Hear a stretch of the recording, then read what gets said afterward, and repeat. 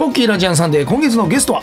どうも、さなりです。よろしくお願いしますよろしくお願いします。さなりくん最終週ですけれどもはいあさってのトークテーマは？16歳、初めての CD リリース。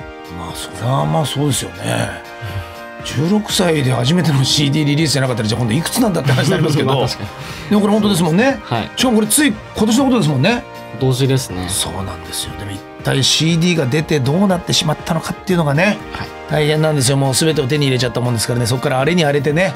えらいことになっちゃったんですよ。もう。ええ。もうあの家も帰ってこなくなったりしてね。もうええ。戻れないですね。あの大変なことになっちゃったんですよ、もう天狗にもなってね。ええ。もうそういう話とか一切出てきませんからね。